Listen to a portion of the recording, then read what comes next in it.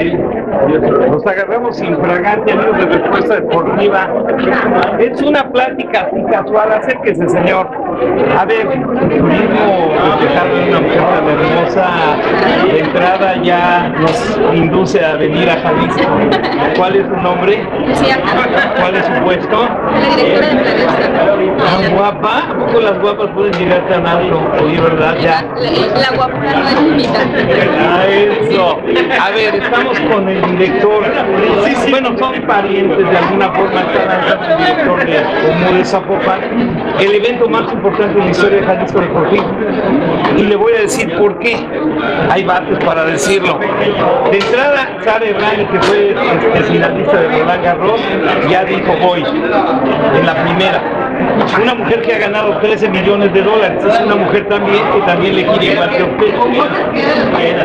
¿Qué le, qué le, qué le parece esto, esto que está detonando en Jalisco? Porque además los demás torneos se fortalecen, ¿no? O sea, como que es un destino turístico natural, hablando fuerte ahí. Importantísimo.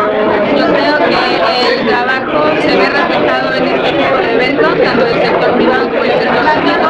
Para nosotros como autoridad es muy importante que esta clase de eventos pues vengan al, al Estado.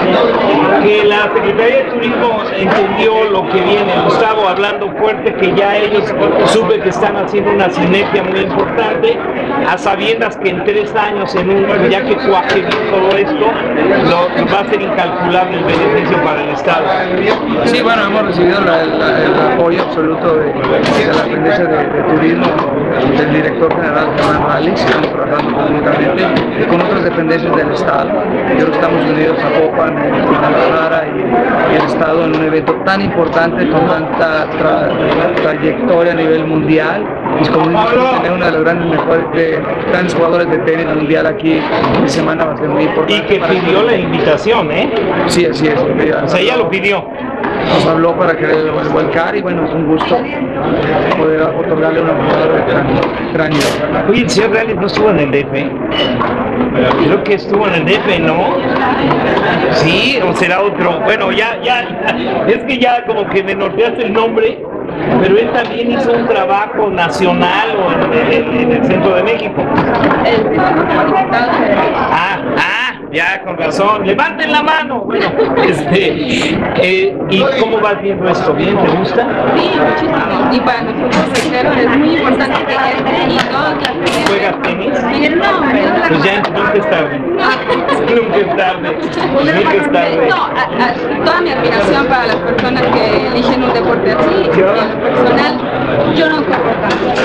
Bueno, bueno, pero te voy a decir cosas que debes de saber ya que estás aquí. El, deporte que le genera más derrama a, a México después de la Fórmula 1 fue el tenis. Entonces lo que va a pasar en Jalisco cuando se consolide este proyecto, que yo le doy tres años, o sea, todos los que apuesten ahorita van a ver reflejado su esfuerzo en tres años. Es una semilla que, que va a salir, sin embargo, y es un éxito, ya está sonando en el mundo entero. Te felicito. Bonitos ojos, es que no se puede, no se puede. ¿Eres de los altos? No se puede, no se puede. Me voy a tapar así, que tengas un buen día. Un y-. Y, felicidades, porque la hacer estas entrevistas hay que taparse los ojos. Ahora sí, la nieve, ¿no? De limón. De, de limón. Padre.